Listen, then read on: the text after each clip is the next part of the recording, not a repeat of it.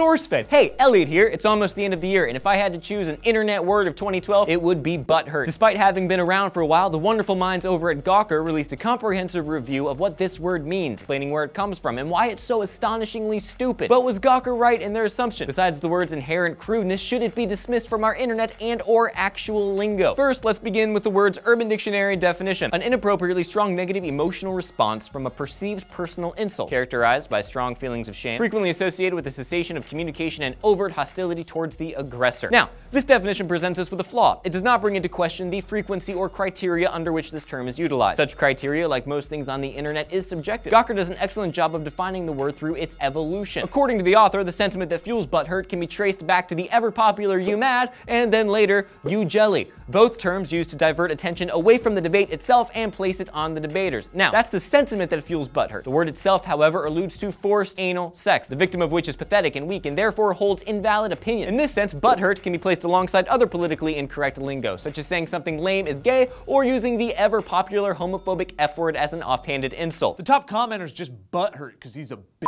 Here's my valid argument regarding my stance on a hot button issue. You don't gotta be all butthurt about Hey it. Hey Lee, did you see how, how butthurt Steve got when we insulted Ewoks? Because he's a bitch.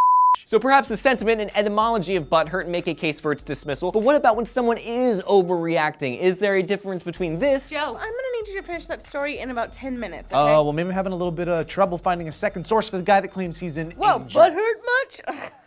and this? Joe, I need you to finish that story in like 10 minutes, okay? Yeah, no problem. I just got to find a second source for the guy. Whoa, whoa, whoa, Butt hurt much? The greater debate at work here has nothing to do with the word butt hurt, and this is where we divert away from the Gawker piece. Objections to the use of butt hurt are rooted in a desire for political correctness and a belief that progress is best defined by not offending others. The other mindset of that, sort of the antithesis, the yin to that yang, is that progress is best defined by our ability to not be offended. These two mindsets result in two polar opposites, which are displayed on the web. Neither, in my opinion, truly promoting any sort of equality. Let me know what you think about this new word in the comment section down below, unless you're gonna be all butthurt about it. And while you're down there, like, subscribe, click this annotation for our five daily stories, and you can go to sourcefed.com to see all sorts of news. My name is Elliott Morgan. Have a wonderful day. Stay kind down there.